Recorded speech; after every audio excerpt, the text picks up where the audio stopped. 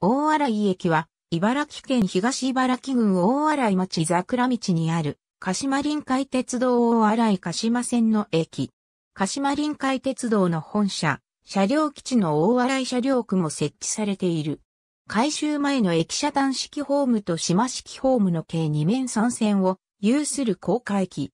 駅舎は構内の東側にあり、建物内には本社も同居している。大洗車両区は構内の西側に置かれている。終日社員配置駅。出札窓口、自動券売機が設置されている。また、売店、インフォメーションコーナーもある。駅舎の待合室は2020年に石井国明のデザイン設計のもと、リニューアル工事が行われ、海の波をイメージした明るい雰囲気になった。待合室のベンチと袖机は、水戸産業技術専門学院1年生が制作したものである。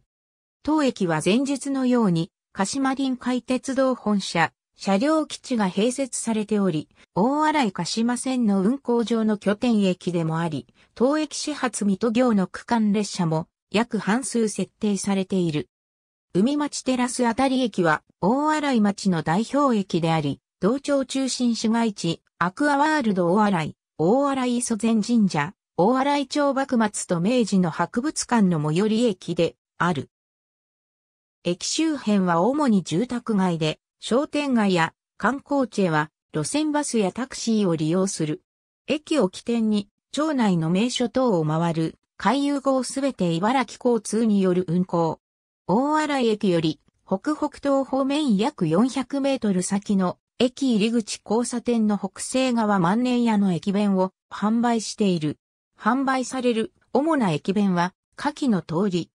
大洗町は TV アニメガールズ&パンツァーの舞台だったため、茨城交通の協力のもと、一時的に主人公の西住みほのアナウンスが流れ、列車やバスもアニメ仕様に変更された。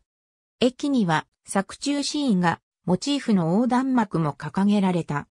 2017年時点でもラッピング列車2編成が運行中であるほか、インフォメーションセンターや駅内通路、売店ではポスター、看板などの掲出や関連商品の販売が行われている。ありがとうございます。